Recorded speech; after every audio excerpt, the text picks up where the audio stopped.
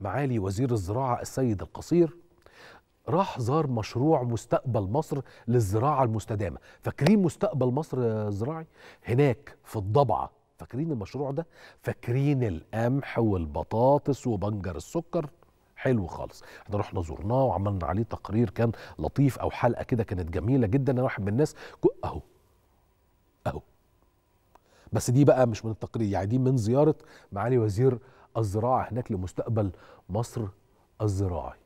أنا مش شايف قوي بس أنا أعتقد ده سياده المقدم بهاء المسؤول عن المشروع. واقف جنب الوزير أهو على شماله.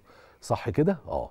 أكد وزير الزراعة إنه جاري العمل في المرحلتين الثانية والثالثه من المشروع وبمساحة حوالي 700 ألف فدان.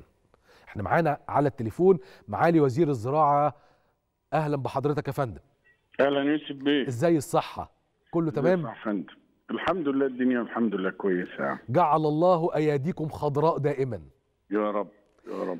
آه مستقبل مصر الزراعة يا فندم إحنا كده مخلصين كام فدان؟ والمرحلة اللي بنشتغل عليها كام فدان يا فندم؟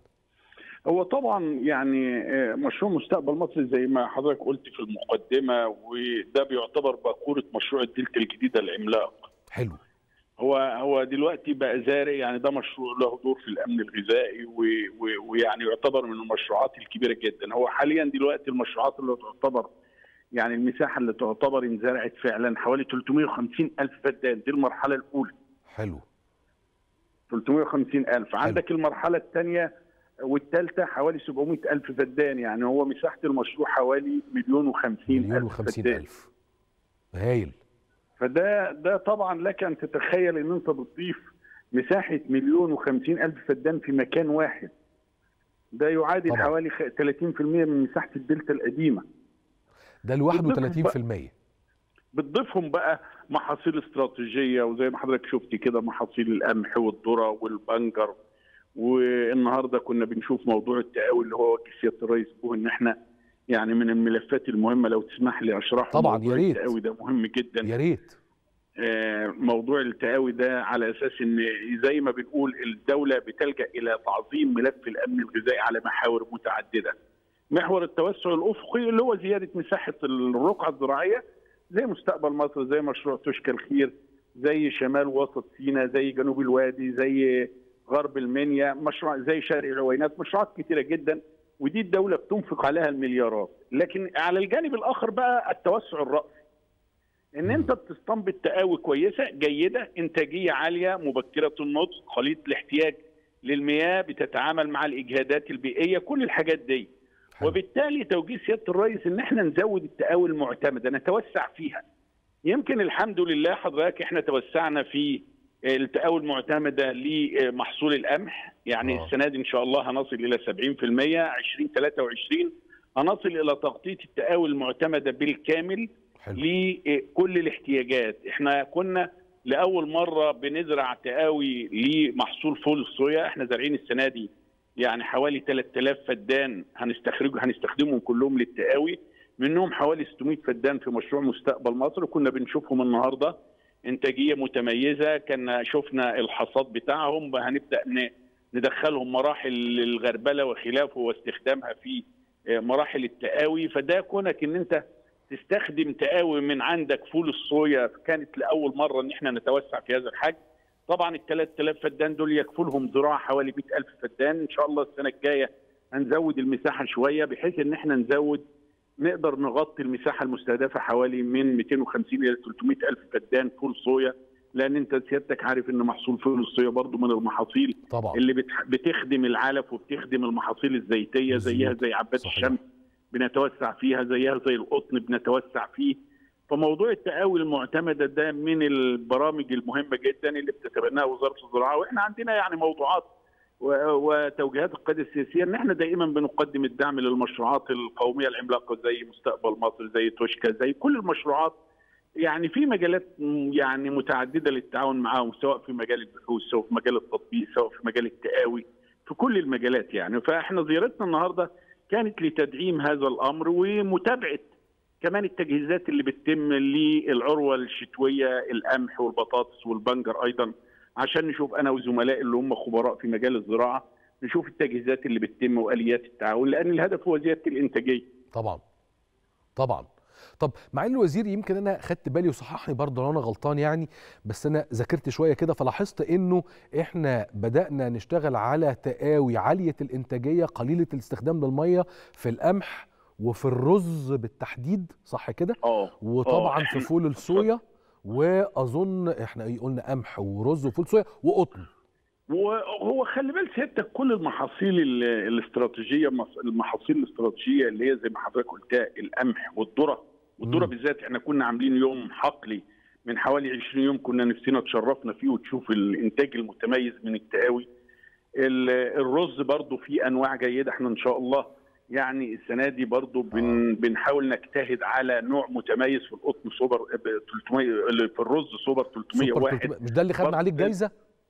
آه ده آه. آه. ده عالي إنتاجية وقليل الاحتياج للمية. وإن شاء الله لما هنعمل حصاد برضو يا ريت حضرتك تشرفنا. يا سلام أنا طول وتحضر وتشوف ال- التجربة على الطبيعة.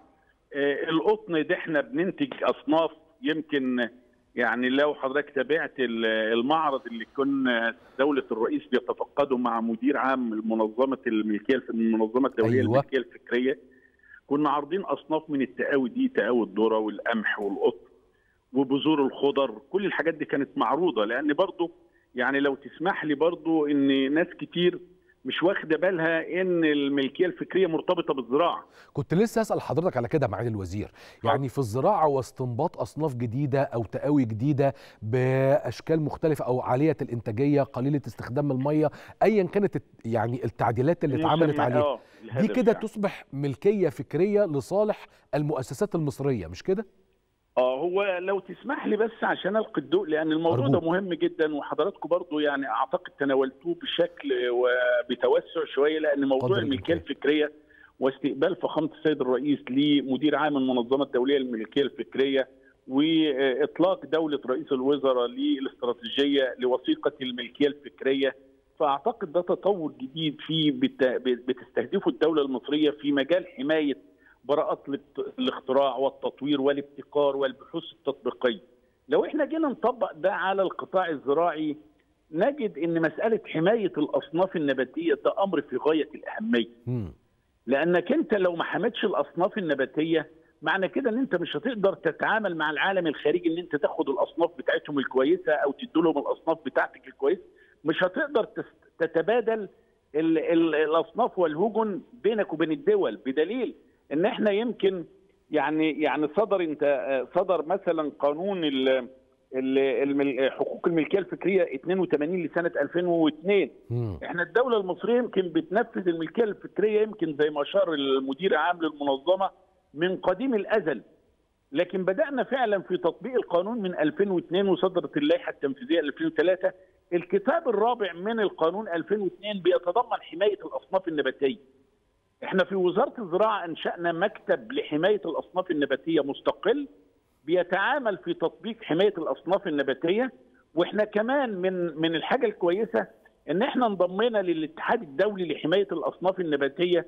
اللي هو اليوبوف في 2019 كويس. إحنا كدولة مصرية فضلنا حوالي 20 سنة عضو مراقب في الاتحاد الدولي لحماية الأصناف النباتية ولكن انضمينا رسمي في 2019 بعد. ما تم تهيئة البيئة التشريعية اللي هي تمكننا من إن إحنا نبقى متوافقين مع متطلبات الاتحاد الدولي بدأنا خلاص انضمينا وبالتالي بدأنا من هذا المنطلق إن إحنا نتبادل الأصناف ويبدأ ما فيش خوف بقى الراجل المبتكر أو المخترع أو ال- اللي, اللي استنبط صنف جديد في العالم ال- في, في بعض الدول يقدر يجي يجيبه لنا هنا في مصر ما يبقاش خايف عليه طبعا. نقدر نستخدمه وبالتالي بنحمله الصنف بتاعه. آه. فده بنقدر. إحنا يمكن آه، لو أحب أدي لك رقم إحنا يمكن يا ريت. آه، آه، طلعنا موافقات لحماية أكثر من 506 صنف نباتي طب كويس آه، قوي بنتعامل 506 ألو؟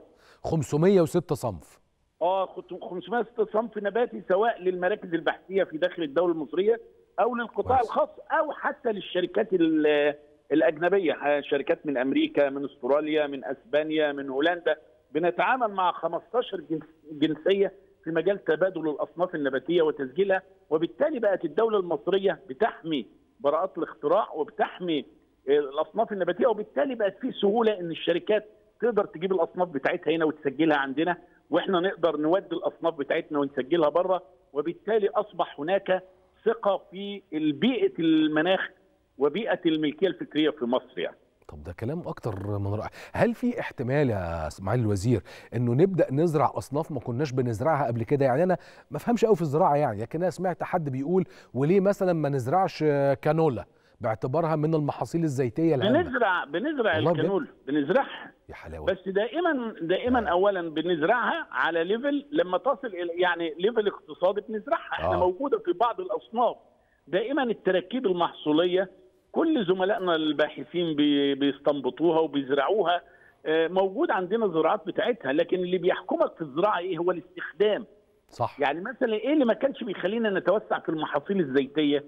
إن أنت ما عندكش العصارات امم فلما تبقى عندك العصاره تقوم تتوسع في المحصول لأن في بعض المحاصيل عشان تسوقها لابد إن يكون في. زراعات تعاقديه آه. وبالتالي بدأت الدولة المصرية تطبق الزراعات التعاقدية بشكل أكثر من ممتاز. طبقناها في ال- ال- القصب السكر في البنجر في الذرة السنة دي يعني بأكثر من رائع. القمح كونك كونك تعمل زراعة تعاقدية معناها إن أنت بتعلن السعر. إحنا السنة دي أعلنا السعر الاسترشادي قبل الزراعة بشهر أو شهرين عشان يقدر الفلاح يخطط رؤيته المستقبلية صح. إيه؟ فالزراعه التعاقدية هي اللي بتشجع إن أنت تتوسع في الأصناف.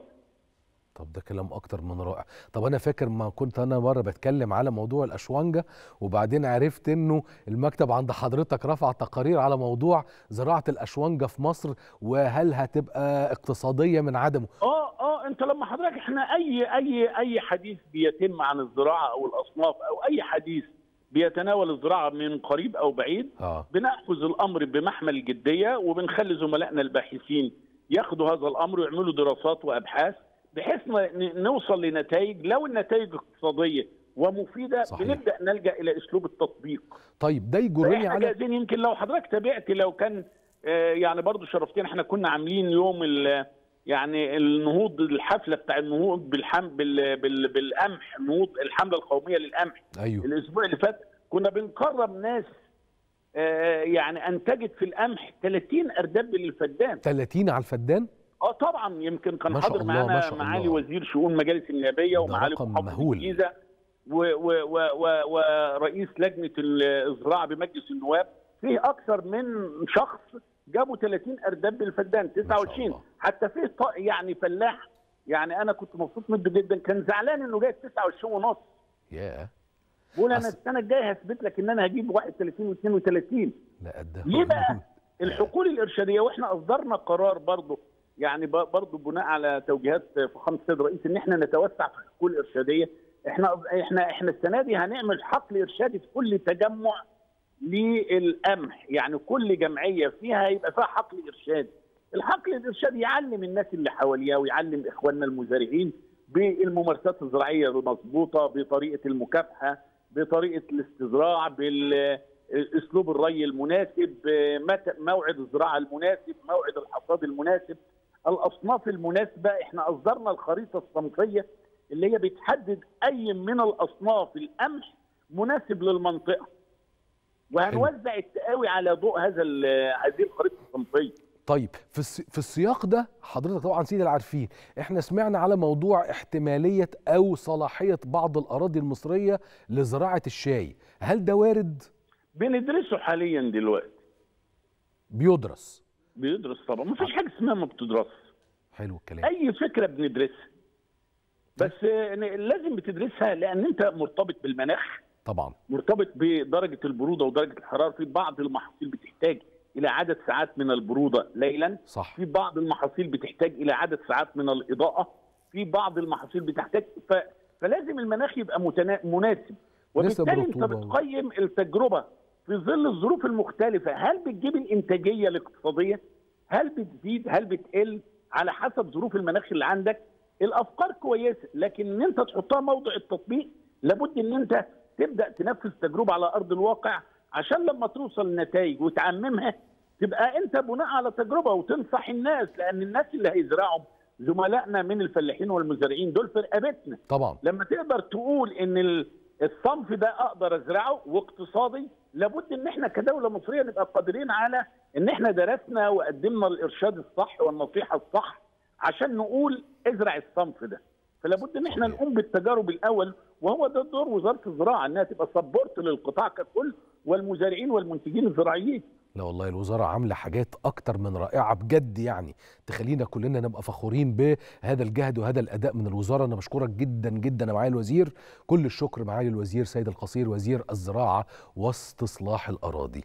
تقدر تقول كده بمنتهى البساطة عزيزي المشاهد وتقدري تقولي كده عزيزتي المشاهد. الخلاصة بتاعت كلام معالي الوزير. مفيش حاجة متعلقة بالزراعة في مصر لا تدرس أولا ودراسة مستفيضة.